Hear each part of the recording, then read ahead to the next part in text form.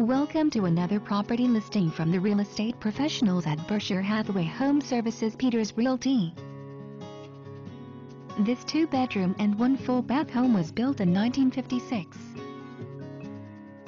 This home is approximately 900 square feet and is situated on a 0.44 acre property. For more information on this and other residential properties for sale in this area contact the phone number on the right. Thank you for viewing our real estate video and we hope you enjoy the remainder of this property tour.